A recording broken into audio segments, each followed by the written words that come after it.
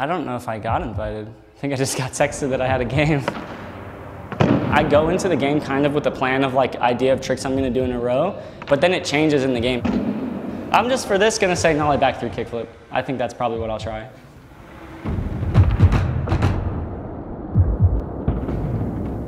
We're feeling pretty good. A little, a little tired, just got back from a trip, so.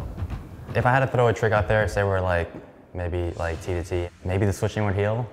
That's like the one that like works sometimes, and I feel like it's a random one and not many people really do that one, but it might not even work for me, so I don't know.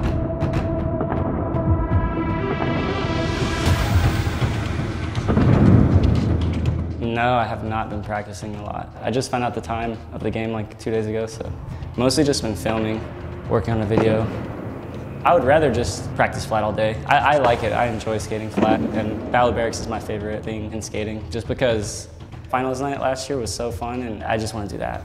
This is my first time at Battle of the Berrics. Pretty excited, pretty nervous.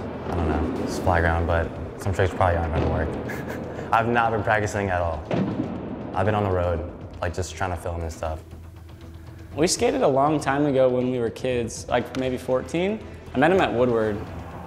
You never know how good someone is at flat, that's the thing, unless you've seen them play a game of skate or played with them. I know he's gonna have all the fundamentals because he does them down in gaps, so at this point I'm just like, whoever I have to play, it is what it is. I've played hard people before. I played fucking Seva and Jamie Griffin, so at this point, whoever I play, I'm just like, just gonna try to be good.